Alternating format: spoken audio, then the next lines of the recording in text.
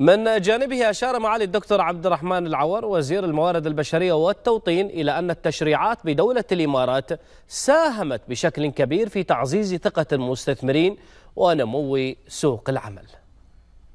على نطاق سوق العمل في دولة الإمارات. إحنا شهدنا نمو يعادل 11% في حجم السوق وهناك حوالي 10% نمو في عدد الشركات اللي سجلت عندنا إحنا في الوزارة في عام 23 نتكلم. وأيضا شهدنا نمو حتى في العمالة الماهرة ما يعزز من إنتاجية إنتاجية سوق العمل في دولة الإمارات.